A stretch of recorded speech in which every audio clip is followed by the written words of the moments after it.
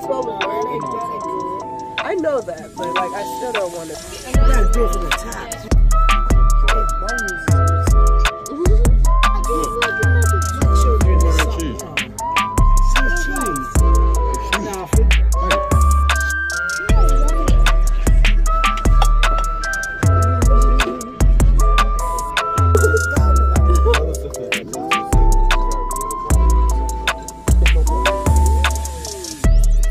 In In me.